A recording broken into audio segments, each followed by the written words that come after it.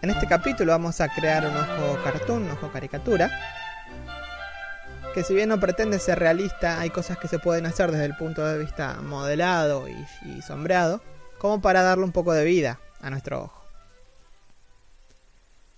Voy a empezar a modelarlo con una UV Sphere de 32x32. Es suficiente información como para tener ya nuestro globo ocular. Y lo que sería la córnea, que también a su vez esa forma la vamos a utilizar para crear el iris hacia adentro, si tener un poco de curvatura y volumen. Voy a cortar, primero selecciono qué anillo de vértices quiero que sea mi córnea y voy a cortar a partir de ahí con la herramienta RIP, que es el atajo de teclado eh, V. Esta herramienta, así como otras en Blender, depende de la posición del cursor. Por ende, si estoy eh, si tengo el cursor del lado izquierdo, cortará hacia el lado izquierdo. Y lo mismo con el derecho. Esta herramienta es accesible desde Mesh, Vertices, RIP, también desde el menú.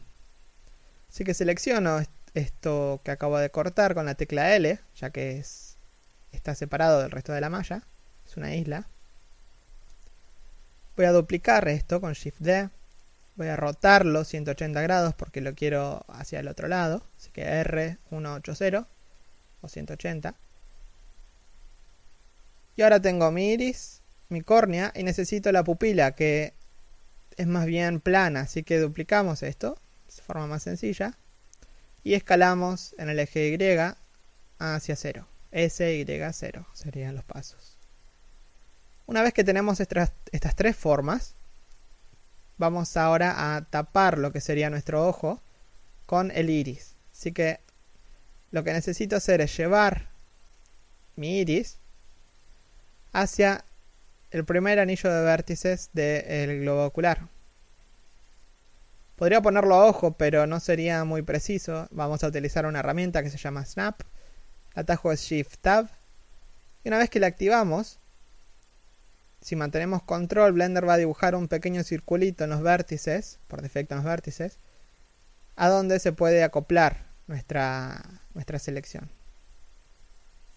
Una vez que nos quedó en el borde, podríamos o remover dobles porque nos quedaron superpuestos hay unos vértices, por eso es que está, es tan rígido el borde, tan fuerte, tan marcado.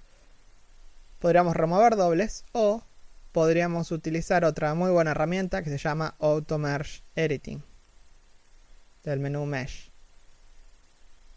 Por ende, si volvemos a repetir la operación, por ejemplo, una vez con esta herramienta activa, y apretamos, mantenemos control para moverla hacia allí, clic, y automáticamente se borran todos los vértices superpuestos. Claro, ahí me quedó una marca, son las normales que quedaron invertidas porque eh, principalmente había girado estas caras. Así que recalculo con control N y está. Es suficiente.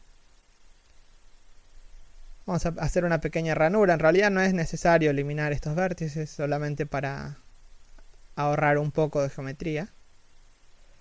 Así que borro un poco de lo que es eh, la pupila y la llevo hacia adentro. Y ahora tenemos hasta en la vista OpenGL se ve que la curvatura ahí nos da un, pequeño brillo, que es lo que estábamos buscando con el modelado. Por eso es que hacemos la curvatura esta hacia adentro. Voy a desactivar el AutoMerge. Ahora no quiero en realidad que esta malla se una físicamente a lo que es el resto de la, de la malla, porque si no me quedarían caras internas que sería el iris y la pupila. Y eso puede eh, dar muchos problemas de, sombreado. Así que la, unimos así nomás. Y ahora ya prácticamente tenemos nuestro ojo. Lo que voy a hacer ahora es unir esto, a darle un poco más de volumen a nuestra, nuestra córnea. Y ahí tenemos nuestro ojo. Vamos a